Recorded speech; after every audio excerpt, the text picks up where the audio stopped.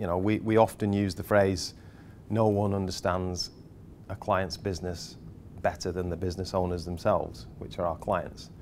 But we also use the phrase that no one understands how to protect those businesses like FM Global.